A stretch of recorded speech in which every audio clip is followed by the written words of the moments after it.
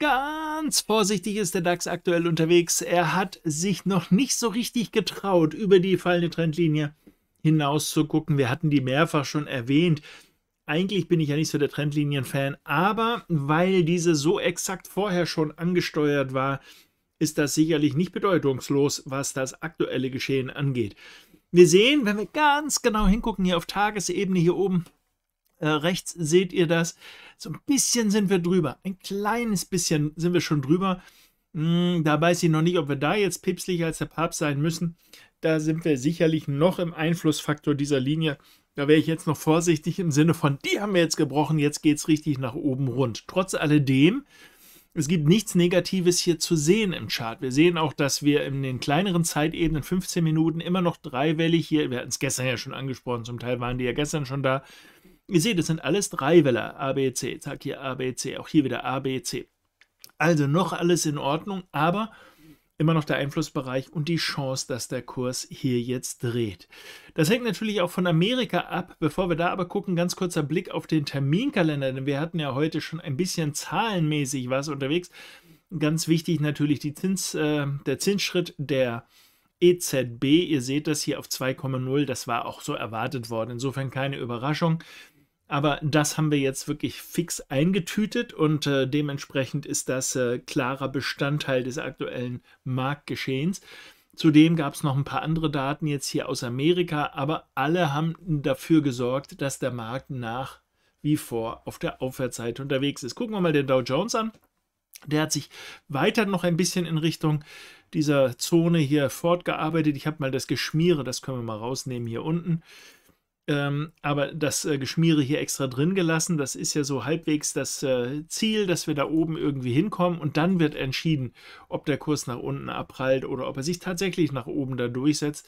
Also weiterhin die Aufwärtsrichtung. Auch hier gilt, so richtig Schwäche scheint sich noch nicht zu zeigen hier in der Aufwärtsbewegung.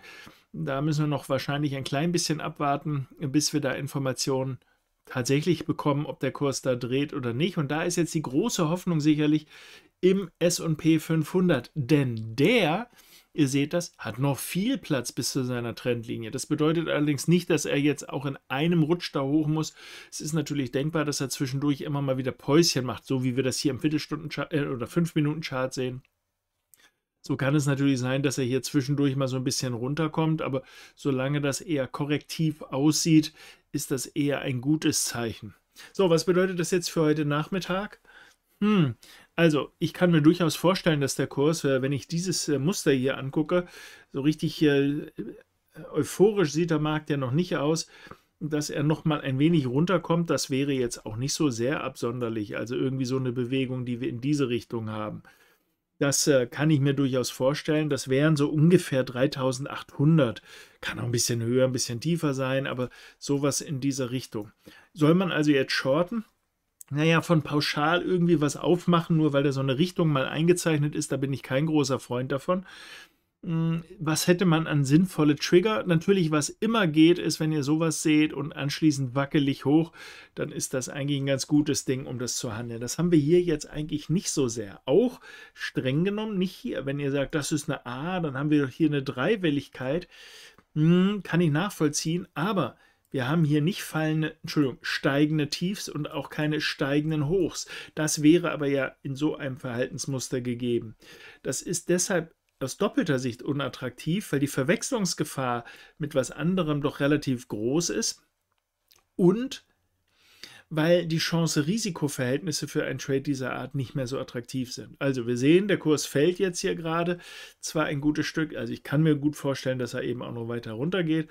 Der muss nicht an dieser Stelle drehen. Auch hier hätten wir nochmal eine Unterstützung, das ist dann 387 ungefähr, so in dieser Richtung hier in etwa, oder 85, nee 90 ist es, sorry, hier auf diesem Niveau. Also äh, da denke ich mal, hätten wir eine realistische Chance, dass der Kurs dann mal anfängt, über den Dreh wieder nachzudenken, im Sinne von vorne, hinten. Mal sehen, ähm, ob der Kurs da wieder drehen kann. Insgesamt bleibt es aber zumindest mal hm, erkennbar im Bullenmarkt, solange nicht irgendwie massiv was durchstoßen wird. Das ist so eine erste Indikation, ist 3777 hier im Future. Ihr seht, das sind die Zwischenhochs hier, 18. Oktober ungefähr.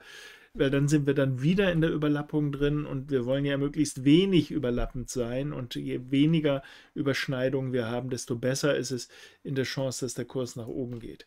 Durchstößt er aber das, wäre das zumindest mal kein sehr gutes Zeichen und würde die Sorge, dass er als nächstes diese Marke hier ansteuert, ähm, wieder aufkeimen lassen. Und wenn diese durchstoßen wird, dann diese auch. Also wir hätten quasi so eine Art Frühtest, wird die Marke ungefähr bei 3777 hier durchstoßen, dann ist es nicht, also dann wird es relativ typisch sogar, dass diese Marke da unten nochmal angesteuert wird und noch tiefer vielleicht sogar. Das werden wir dann sehen, aber zumindest mal vorläufig hier auf der Abwärtsseite. Das hielte ich zumindest mal für sehr, sehr nachvollziehbar. Deshalb sollte man das da auf seinem Plan mal drauf haben. Für all die Kritiker, die natürlich jetzt berechtigt nachfragen, aber die Linie macht doch keine Entscheidung, das ist völlig richtig. Die Linie ist äh, ein totes Material. Was die Entscheidung fällt, ist ein Marktteilnehmer. Wenn der nämlich jetzt in diesem Bereich dann sagt, äh, okay, wir gehen da jetzt dann wieder aggressiv auf die Short-Seite, weil ich meine Stops eventuell dort liegen habe und das, das sind so typische Marken, wo viele Marktteilnehmer ihre Stops haben, da müssen wir damit rechnen, dass der Kurs da in den Dreh wieder reinkommt. Und dann wird auch die Abwärtsseite nochmal wieder ganz schön relevant. Aber oberhalb dieser Marke würde ich sagen, ist es alles erst nochmal einigermaßen safe. Wäre es ein normaler Rücksetzer, der ja auch in dieser Aufwärtsbewegung passieren kann, also noch kein Grund zur Trauer oder zur großen Sorge. Der Nasdaq stößt dabei so ungefähr in das gleiche Horn, aber das Interessante daran ist, und das ist das, was Sorgen bereiten sollte, nicht so sehr, dass wir jetzt hier stark runterkommen, das ist noch alles gedeckt durch die einfache Korrektur, die wir jetzt hier vielleicht zu erwarten haben nach dem Anstieg, aber dass dieser Anstieg natürlich bei allen Indizes, die wir uns angeguckt haben, relativ korrektiv aussieht, am stärksten in der Korrektur allerdings aussieht beim Nasdaq. Und äh, das ist etwas, was Sorge bereitet. Erstens mal, weil wir wissen, dass viele wichtige, relevante Titel im Nasdaq enthalten sind, die auch den Gesamtmarkt durchaus drehen können. Denkt man Tesla, Apple und so weiter. Microsoft, Amazon, Google, wie sie alle heißen. Und dass diese Bewegung so korrektiv aussieht wie bei keinem anderen der Indizes. Das, bei manchen hat man ja den Eindruck, ja, so ein bisschen überlappend, überschneidend, korrektiv hoch, ja, aber doch relativ stark noch. Aber wir sehen, dass der Nasdaq in diese Zone, die wir da haben, die sehr weit gefächert ist, also überhaupt nicht diese Anziehungskraft hat, wie jetzt so eine fixe Linie beim DAX oder S&P 500, dass äh, wir da auch noch ein gutes Stück von unten äh, oder unten entfernt sind und der Markt eben auch diese Überschneidung jetzt hier auch schon wieder hat. Das ist anders beim S&P, da waren wir noch überlappungsfrei, schaut es euch nochmal an. Das sieht nicht gut aus. Äh, achten sollten wir auf das Zwischentief 10,950 ungefähr, was wir hier so um den 20. Oktober rum hatten beim Future. Wenn die Marke fällt, bin ich mir auch ziemlich sicher, dann müssen wir ernsthaft über Bereiche hier unten drunter, also nochmal neue Tiefs in diesem Jahr hier, äh, ganz fix einkalkulieren. Also, die Voraussetzungen sind nicht wirklich perfekt. Die Chance besteht, dass der Kurs zwar noch ein bisschen weiter hochgeht im Rahmen einer typischen Korrektur.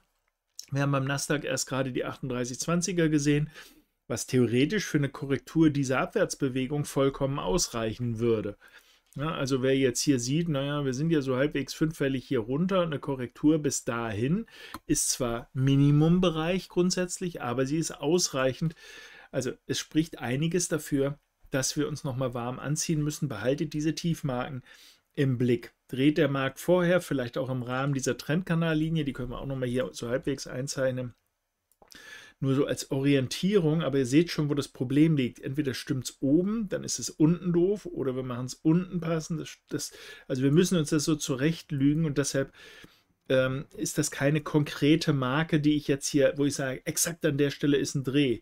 Je nachdem mache ich es jetzt hier auf den Tiefpunkt, dann ist es ein bisschen steiler, dann ist dieser Punkt bald erreicht.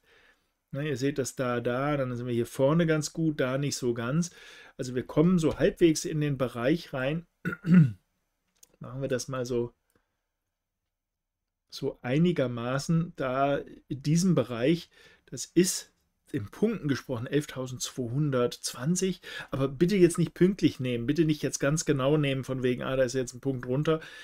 Aber in dieser Zone, also wenn er da noch abprallt, alles gut, aber wenn er da auch noch durchmarschiert, denkt an dieses Tief hier, denkt daran, dass das hier ist. Also es kann nochmal zum warm anziehen werden. Also da ist noch längst nicht alles äh, positiv. Nasdaq, das schlechteste Bild, S&P noch safe, aber da haben wir die Marken genannt. Dow Jones sieht noch gut aus. Da gibt es noch keine echte Anzeichen für die Abwärtsseite, aber er nähert sich auch so langsam seine Widerstandszone und der DAX ist genau an dieser Widerstandszone. Es gilt also jetzt. Also kein Grund, jetzt in dem Moment auf die Long-Seite zu wechseln und zu sagen, oh, da kaufe ich jetzt massiv, das sieht gut aus. Ich glaube, die Aussichten sind nicht optimal dafür und wir müssen damit rechnen, dass wir nochmal einen Rücksetzer kriegen. Je korrektiver er aussieht, desto besser sind die Chancen, nachher eine gute Long-Position nochmal zu bekommen. Aber das ist eine andere Geschichte und soll ein andermal erzählt werden. In diesem Sinne, euch alles Gute, liebe Grüße und viel Erfolg.